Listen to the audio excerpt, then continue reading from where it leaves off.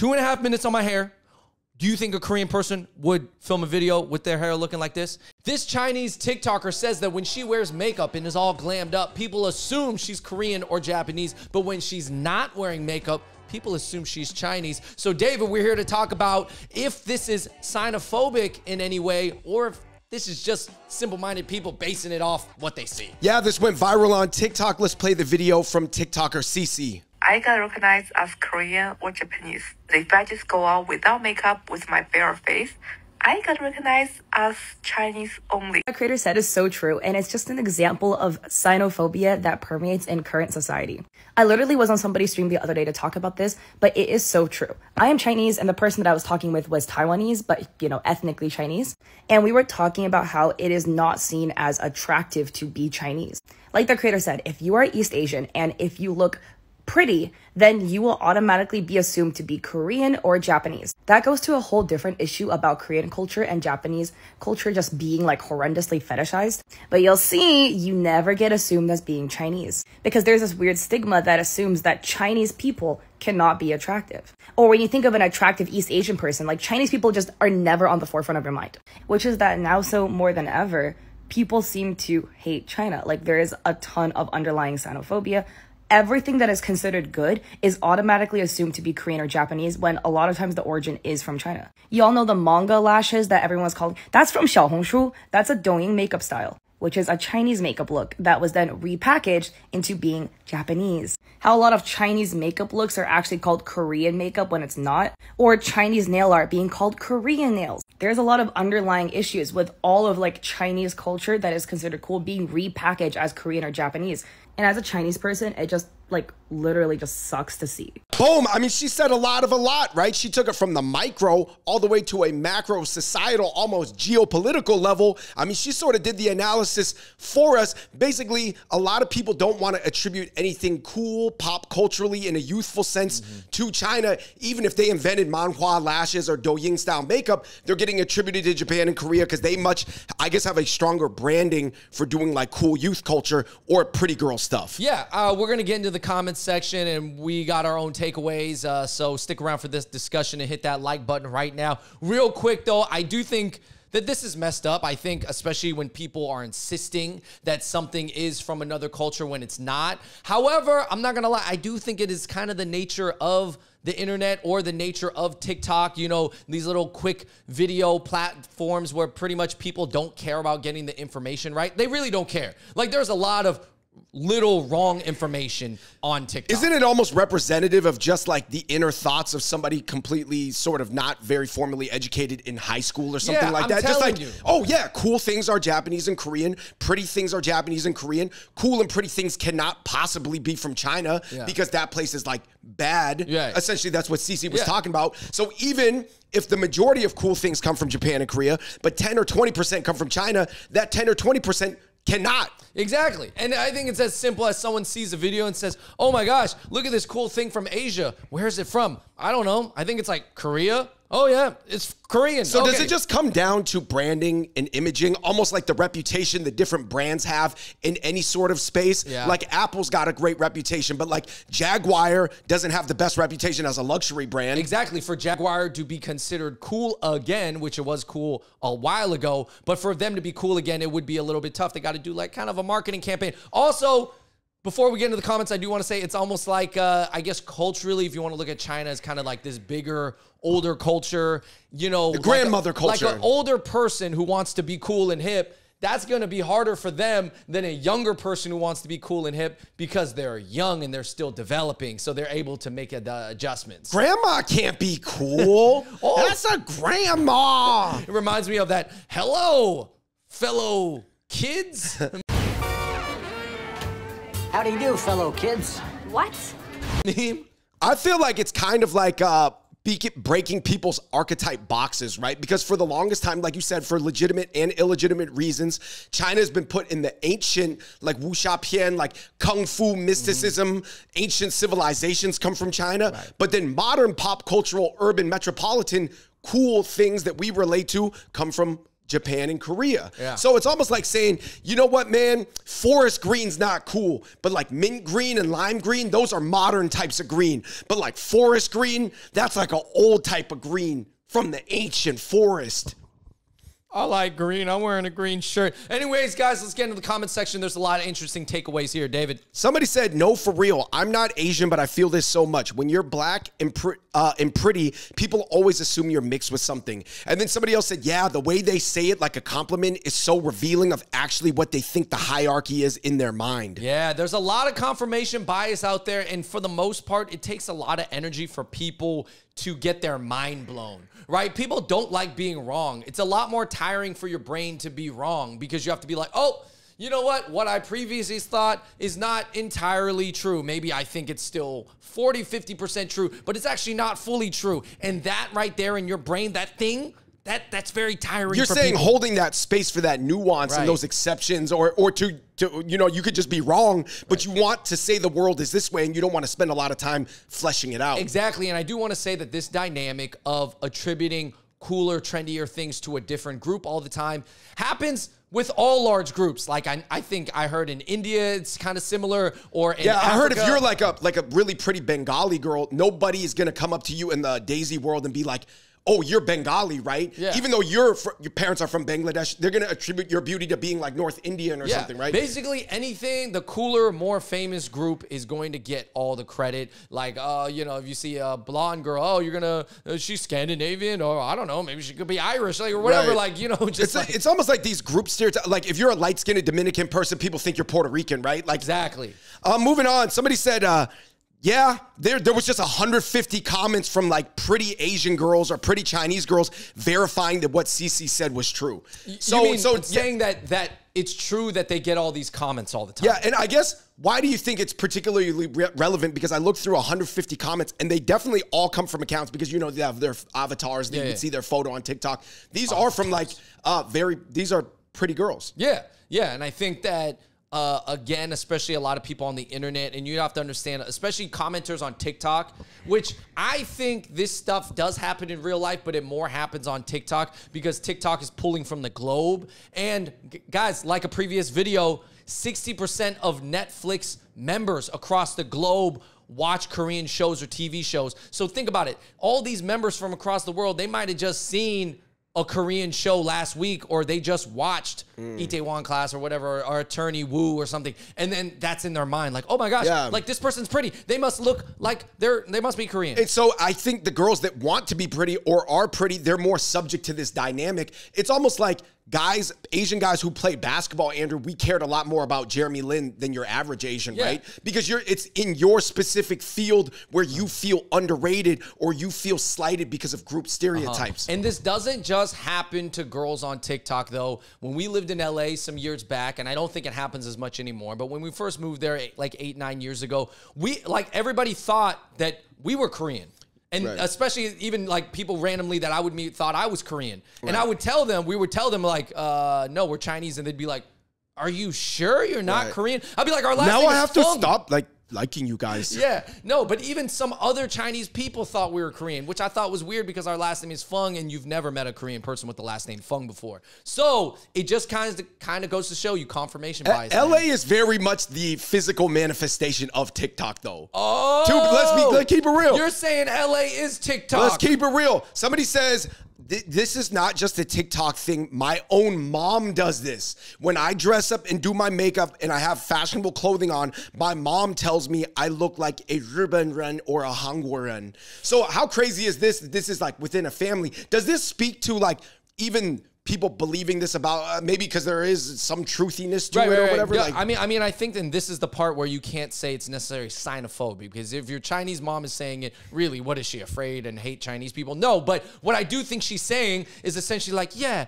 you know, like uh, Japanese people and uh, Chi- uh, Korean people, they have a certain style that I see, and you know, I don't really. They try know. harder. Yeah. They try harder. I don't because it's what- true that uh, what is modern Chinese style? I think it's still in development. Where if you think about a modern Korean or a modern Japanese style, it's very well defined. Yeah, right? it's so well defined, and people always talk about it. And I think there are Chinese styles, but for example, like if some East Asian guy is wearing like Supreme and Off White all together with like Off White Jordans, then people are probably going to assume he's Chinese because that's what Chinese people are Yeah, known right. for You're doing. saying the modern fob and Ferrari stereotype is known for logomania yeah, with the the luxury designer brands. Balenciaga fob with the Off White. Yeah, Yeah, you I'm know. going to LVMH uh, shareholder Yeah, meeting. and then I go to get hot pot. It's a stereotype. Somebody said reason. when I was in high school in LA, this boy said I was so lucky to look Korean because even though I'm Chinese, I was so lucky to look Korean. Then he apologized to me a few years later.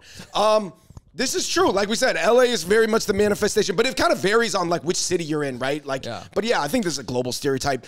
Somebody said uh, when you are in South Korea, if you're looking disheveled or out of sorts one day, you people, your friends will tell you, "Oh, you look Chinese today." Yeah, I've heard this from Koreans out here. up. They told us that that they do say that, and But it is it true that Chinese maybe probably in a macro sense in their culture and or narrative wise they spend less time on lookism or caring about their looks. I, would say so. I would, I, but I, to be more specific, I think the average Chinese person spends less time thinking about their visual appearance than maybe the average Korean and Japanese person. That's not outrageous to think. Right, right, Okay, right. let's be honest. We know a lot, and I think that's why because Chinese is a huge group with a lot of different types of people, and you know, different economic classes. As yeah, we know, I think so- that the economic development is is decades behind uh, even Chi- Japan and then Korea. yeah. again, even Chinese Americans, like Chinese have, uh, for example, high poverty rate in New York City. So of course, not all, every Chinese person you meet in New York is going to be spending a lot of time on their looks because they're low income. For you know what I mean? So it's just, it, but everybody's just in their mind trying to make the average of everything. Somebody said, I'm from Southeast Asia. In my country, people know Chinese faces, but choose to compliment pretty people as looking like K pop stars or you don't look Chinese. Yeah. Yeah. Yeah. I've heard it. I've heard it. And uh, man, somebody said soft power is OP. Mm-hmm. Ultimately, I mean, this answers all the questions from the previous thread, right? Yeah, but I, I I think what I want to point out is that soft power is important for the people because it can inspire people to change themselves. So what I think happened is that K-pop and K-dramas and the Korean culture gets really trendy, but now they have a lot of different role models for Koreans to look up to and dress like and look like. So now all the guys, if you want to have that K-pop look, got the curtain bang split down the middle, you know, with the wavy And hair. You sort of dressed like, uh, what's his name? Uh, the dude from La La Land. Ryan Ryan Gosling. Gosling, Ryan yeah, Gosling, I yeah. noticed that you you dress like that and you get the curtain bangs. kind of, yeah, yeah, yeah, yeah. But is this is soft power truly like a tsunami? You know how like no one person can fight against a tsunami because tsunamis they just come from the the ocean and Yeah, just- because I, I think soft power means that you're kind of uh, trending and taking over media and you're in people's minds and whatever is the quickest thing in people's minds they're going to go to. It's kind of like decades ago, David, or even still pretty recently, everybody thought everybody was Chinese. Like everybody thought every Asian looking person, whether you were East Asian or even Southeast Asian looking, if you looked kind of Asian, like, you know, with the eyes Right, and it, right, like you we were had an. Ilocano friend growing up that uh, got called Chinese because literally people didn't have another word for just like Yeah. that look. Yeah. What, what, what look? That one. Right. And then everybody, like the Koreans, probably spent so many years with like, you know what? I'm kind of sick of uh, being called Chinese when I'm not Chinese. So what we're gonna do is spend a lot of money and start this marketing campaign and create all this great content so that we can be Korean. Um, somebody said not to derail from your point, but this is the same for Southeast Asian people as in being told at least you look East Asian. Yeah, I mean, I think I see this whole discussion going on on TikTok right now. It's a little bit not fully this discussion, but it's almost like a Southeast Asian East Asian split. Yeah, but you know, growing up in the Seattle area, like if you looked Filipino, that was considered cool because Filipinos were the swaggy Asians. So for us, if someone thought we were Right. Filipino or looked like, oh, you guys dressing real Filipino, or like, oh, you are you guys Filipino? I would have thought that was cool. No, that was tight was growing up. I mean, because it was just, it so mattered your fluency in urban culture and hip hop Mm-hmm. and basketball and like, getting lineups, people wearing wave caps and stuff, even though they were Asian. Because somebody said, yeah, it's interesting where I grew up pretty for Asians was associated with being Filipino and tanner skin. Yeah, Yeah. it really depends on which fishbowl you grow up in. But obviously, Andrew, we're talking about the trend of the last, what? Eight years, it's probably trended more towards the Korean look for sure, and away from that like Leanne V or like you know Swagapino, Brian Puspos look. Somebody said, "Oh my God, I've been saying this xenophobia also ex- uh, extends beyond lookism. Um, any good tradition or holiday is being erased of its Chinese history, like Chinese Lunar New Year." Yeah, I mean, I see a lot of people want to push for Lunar New Year. Uh, And this is Cece's more macro point that she gets to, right? Because she kind of brings it up initially, talking about looks and fashion and makeup and just being good looking. She translates it and says everything good out of East Asia gets attributed to Japan and Korea, and everything bad out of East Asia gets attributed to China. Yeah, I I, I would essentially, not everybody does this. Smarter people are more nuanced. I would essentially agree with this. Well, I think it's tough because if you look up the term Chinese or China in Google search in the news, what's going to come up? Negative news 80, about 80 90% negative. yeah, about Chinese or China or whatever. So, I think the word Chinese is very loaded and I think it's loaded in a way that not all terms are, especially in the western world. Right. And Like- people never came up with multiple terms like uh, Sino or anything. Literally, they use Chinese in China for like nine different Yeah, things. yeah. It's almost like saying like Imperial Japan has its own connotation, but Japanese has its entirely different connotation. So I guess is there like is there another term for like Chinese culture that is cool? Like instead of Chinese New Year, oh that's from China and China's bad. May, I don't know if we If can they just call called it Sino New Year. Sino New Year or Huara New Year or uh the Chinese culture New Year, you know, cultural Chinese New Year. That sounds a little bit better. Yeah, this went to another TikTok comment from a white girl that said, uh, It doesn't help that the only prevalent media coverage is in regards to the government and the people get lost in the background of it. Exactly, yeah, man. She, that was Yeah. a good point.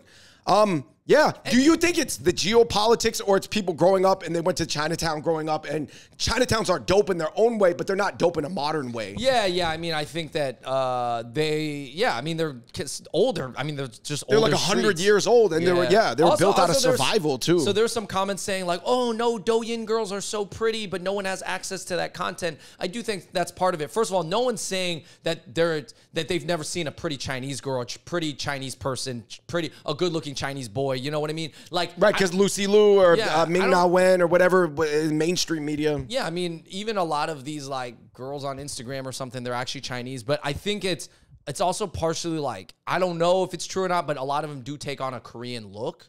Or they just take on the Korean style. So let's say you're Chinese, but you take on a Korean style, and then people think you're Korean. Is that fully wrong? I no, mean, but I think she was also talking about more of that bad girl motorcycle, like quasi goth look that some of the girls on Douyin do. That's considered like a hot bad girl. Right, right, That's right. definitely from mainland That's China. more Chinese. And then she's saying that they, CC was saying that they don't get credit for it. Hmm. But you know, like we said, this is within the TikTok high schoolization microcosm I, I do think it happens in real life, but just Somebody said much. that everybody I know thinks that boba is from Japan because they just would assume that Japan would create boba and not like a Chinese speaking country. Obviously, it's from Taichung, Taiwan. Um, what do you think about that? Like even people taking boba away because they're like, I like boba. I don't want to say that. Well, boba- I mean, yeah, I, I guess technically boba's not from mainland China, right? It's from Taiwan, and Taiwan is a little bit Japanese influence. So uh, I don't know if that's where they're getting it from, but obviously boba is very much a Chinese cultural thing. Somebody said when I was growing up, Japan was considered cool and funky. J- China was still weird and sucked. And Korea didn't, didn't even exist. Yeah. Yeah. it- I would say, honestly, this was even true of like 15 years ago. People literally did not know what Korea Yeah. was. outside of LA or, or around parts with a lot of Koreans. I would say this, man, Korea, they came out the gate with great content and branding, man. Because when people started hearing about Korea, they were ready. They mm. had the K-pop stars lined up. They had the factories going. They were training everybody. And now, look, with the in the age of media, content, Netflix, TikTok, they're killing it. And shout out to them because they Yeah. put in work. Koreans They, put they got, in the work. they got on the same page. Everybody Like, took listen. different roles in the system, and they got the all Look- pistons firing. Look at my hair. Look at my hair, David. David, look at my hair. How many minutes do you think I spent on it? Two. Yeah, two minutes. Two minutes. Two minutes. I spent two and a half minutes on my hair, Do you think a Korean person would film a video with their hair looking like this? If I was Honestly, from what I have seen on YouTube, no. They would spend 20 closer to 25 minutes. at least at least 10 minutes. Right. At least 10 minutes. So so uh maybe maybe There- I'm not there is a, I mean, let's be honest. There is a, fundamentally a difference in culture, right? And and not only that, where in the economic timeline and just cultural priorities, uh, you know, cultures that are very tight knit and they ping a lot, they care a lot about what each other think. Uh, Chinese culture is gigantic. It's 1.4 billion people globally. We don't even care what other Chinese people think about us, to be Right. honest. It's not even like one tribe that's cohesive. Anyway, moving on to the last comment. Somebody said, I don't think us Americans realize how badly dehumanized Chinese people were and how that affects who we perceive as beautiful. Yeah.